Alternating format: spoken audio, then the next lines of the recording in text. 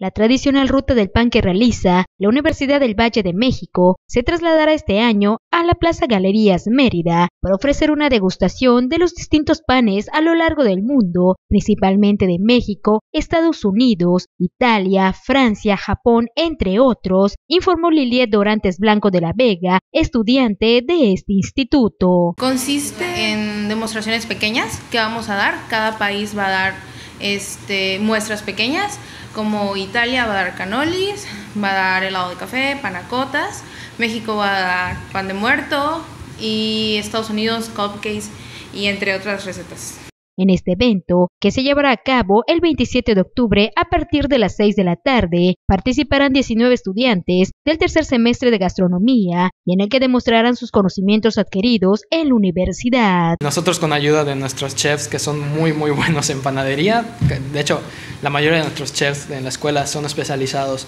en panadería y repostería y pues con su tutoría nos, nos van a transmitir todas estas recetas ¿no? caseras invitaron a los meridanos a asistir a este evento cuya entrada será gratuita y en la que podrán disfrutar del pan de muerto, conchas, donas y diversos postres. Los invitamos a que, a que asistan a este evento que lo estamos realizando realmente con mucho cariño. Todos los panes están hechos a mano y estamos pensando únicamente en en los comensales, ¿no? En los que van a probar nuestros panes. Con imágenes de Eugenia Valdés e información de Merly Gómez, Notivisión.